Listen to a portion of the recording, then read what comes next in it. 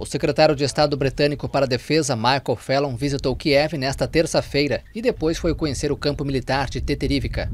No local, instrutores britânicos formam soldados ucranianos para enfrentar os separatistas pró-russos. Michael classificou a situação na Ucrânia como incendiária. A avaliação foi feita no mesmo dia que o Serviço Europeu de Ação Externa da União Europeia afirmou que o aumento dos ataques contra regiões do leste da Ucrânia controladas pelo governo violam o acordo de paz assinado em fevereiro com separatistas pró-russos.